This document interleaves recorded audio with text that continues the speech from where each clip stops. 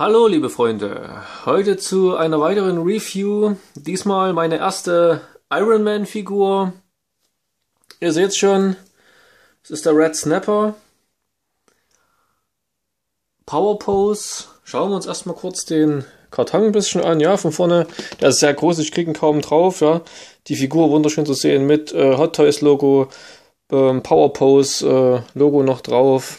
Auch schön glänzende Stellen hier ja, der Rest ist sehr matt gehalten.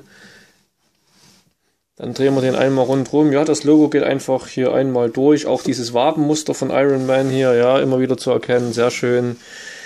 Hinten die üblichen Warnhinweise und ähm, Logos drauf. 1 Scale und so weiter, ja. Sehr schön zu sehen. Einfach hier das zum Abziehen einmal. Stellen wir kurz beiseite. Und ja, hier der Karton auch ganz schlicht in dem Wabenmuster. Hinten nochmal Hot Toys Power Pose. Schlichter Karton. Drin die Plastikboxen mit allen äh, Zubehörteilen, wenn vorhanden. Und der Figur drin, die ich natürlich schon rausgenommen habe. So, und da haben wir den lieben Karl auch schon. Wie gesagt, ist ziemlich groß. deswegen nicht ganz im Bild. Wir kommen später noch zu den Details, wo wir auch alles nochmal zeigen. Ähm, kurz zu der Figur. Wie gesagt, ähm, Power Pose, den gab es glaube ich schon vom Mark 42. Im Verhältnis dazu ist er wirklich sehr beweglich. Aber halt gerade im Oberkörper, ja, in dem Bereich ist er im Prinzip fest. Und wir drehen ihn mal kurz rum, das sieht man auch hier, der ist ganz leicht schräg verdreht, nach, jetzt von hier aus links gesehen hier, um mehr Dynamik auszustrahlen, so wird es beschrieben. Ähm, ich dachte am Anfang auch, oh Gott, äh, wohl schief gebaut. Nein, ist extra so gewollt. Aber hier in der Hüfte ist er, wie gesagt, wie ihr es seht, überhaupt nicht beweglich. Ähm, ist er halt auch aber ein Power Pose. Aber dafür wirklich in den Arm, hier oben die Schulterteile lassen sich bewegen, der Kopf links und rechts, nach oben und unten auch zu bewegen, im Armgelenk hier leicht zu bewegen, so circa, ich weiß nicht, vielleicht ja, sind nicht ganz 45 Grad. Ja, aber auch sonst der Bizeps wirklich rundrum zu drehen. Ja, kommen wir ja vorne zur Klaue. Ja, lässt sich hier schön aufklappen. Ähm, hier sind auch Hände drin, die lassen sich leicht drehen, sieht man aber eh kaum, kann man also so lassen in der Position, wie sie auch sind. Ähm, wie gesagt, äh, zur Figur wollte ich noch kurz was sagen. Äh, die wird ausgepriesen mit 229 bis 279 Euro. Puh, das ist echt zu viel. Also das ist ein Powerpost, der hat null Zubehör, nur noch einen Ständer, ähm, wo man eine Flugpose nachstellen kann. Das war's. Der hat auch Light-Up-Features. Da muss ich persönlich für mich sagen, ähm, das sind 229 echt schon eine harte Grenze. 279 viel zu teuer. Der hat null Zubehör. Der sieht zwar hammermäßig aus. Ihr seht schon. Ich liebe auch diese etwas anderen Ironmans. Nicht so wie Mark 2, 3, 4, 5, 6, 7, 8. Die standardmäßig aussehen. Auch der Midas. Ja, immer dieser schlanke Ironman, nur anders farblich designt. Mir gefallen wirklich der Igor, der Red Snapper, der Peacemaker, der Heartbreaker, auch der Starboost. Die sind alle vom Design her etwas anders gehalten. Ja, ähm, auch der hier, diese ganzen Hydraulik-Metallstreben in den Armen im äh, Schulter-Achselbereich, im Oberkörperbereich auch hier unten. Ähm, wir können mal kurz dahin gehen.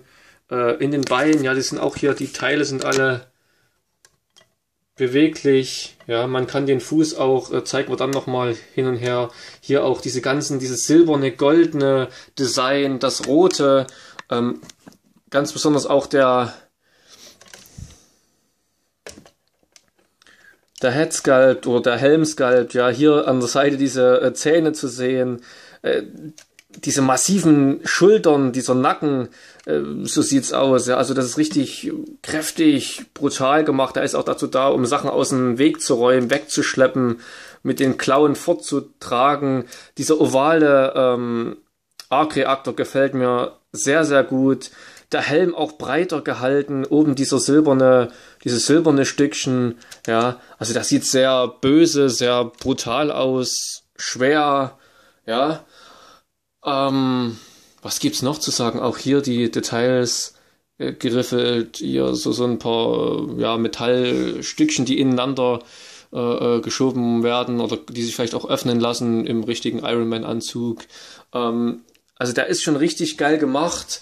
Aber diese, dieser Preis von weit über 200 Euro meines Erachtens nach viel zu teuer, weil ihr habt ja null Zubehör dabei. Ja. Das sieht geil aus. Man kann aber aufgrund des Power Pose halt auch nicht wirklich so viel ähm, machen. Ihr habt hier vorne an den Klauen, die machen wir kurz hier als Beispiel auf. Wow, es blendet. ja, das ist in beiden Klauen zu haben. Ich mache jetzt bloß die eine an.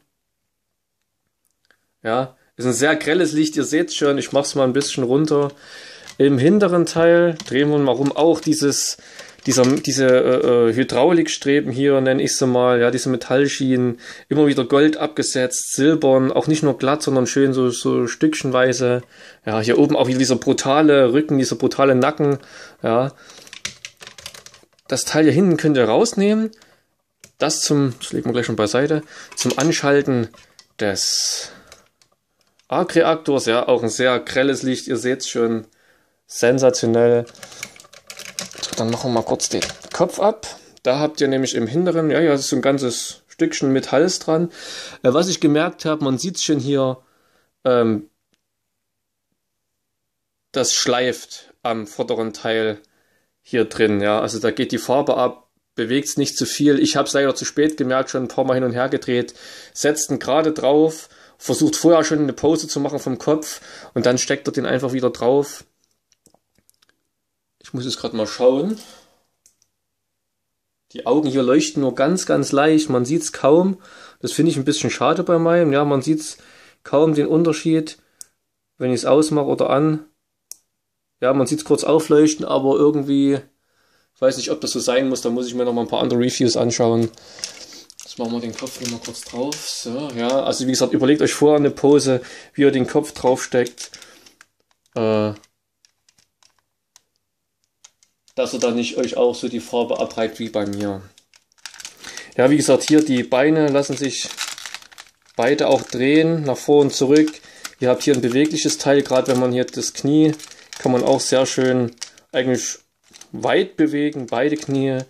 Der Fuß lässt sich unten auch drehen hin und her. Ja, ihr habt diese beweglichen Stücken hier, wenn ihr den Fuß hoch und runter macht, ja. Auch schön alles detailhaft gehalten. Hier Kabel, die auch wirklich sich bewegen lassen. Ähm, diese ganzen Hydraulikschienen hier dran. Viele, viele bewegliche Teile. Das ist bloß ein Powerpose oder gerade hier im Kniegelenk, ja. Das bewegt sich auch alles schön mit. Hier hinten, ja, dieses Hydraulikgestell. Klasse gemacht, finde ich. Also, wie gesagt, ich mag diese massiven, derben Ironmans da schon sehr. Ja, hier bei den Armen, wie gesagt, ihr habt nicht so viel Spiel, da lassen, kann man nicht so viel machen. Ja, aber für einen Power Pose, ich sag's nochmal, ist er wirklich sehr gut gemacht.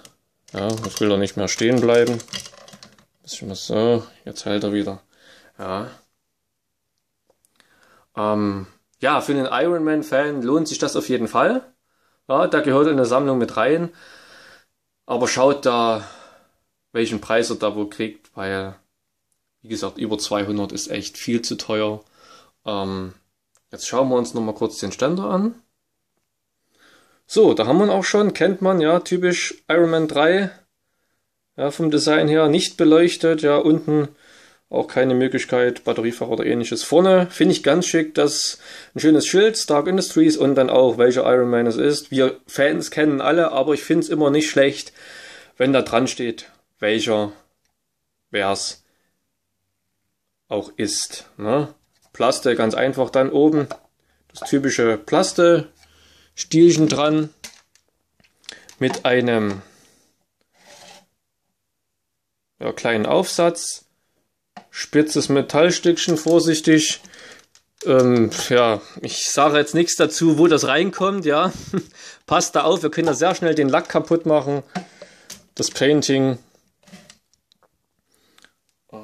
muss ich doch nochmal hier umtauschen. So.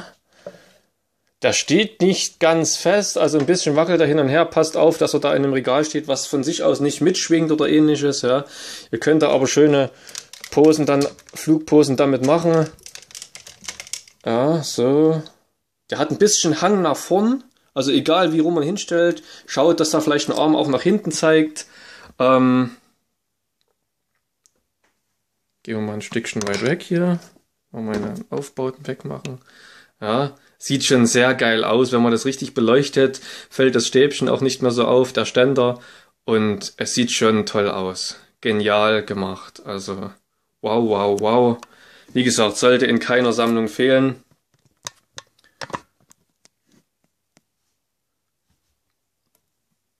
Und ja, wie gesagt, ein paar Nitpicks sind dabei, ne, dass ich am vorderen Teil des Halses da die Farbe abnutze, weil die hier innen dran schleift. Ähm, die Augen hier leuchten jetzt nicht so stark wie jetzt der Arc-Reaktor oder die äh, vorne an den Klauen die Energie leuchten und nicht so ganz stabil im Stand, aber trotzdem, das soll der Figur nichts Negatives jetzt abtun. Für einen Power Pose absolut beweglich, für jeden Ironman-Fan ist es ein Muss.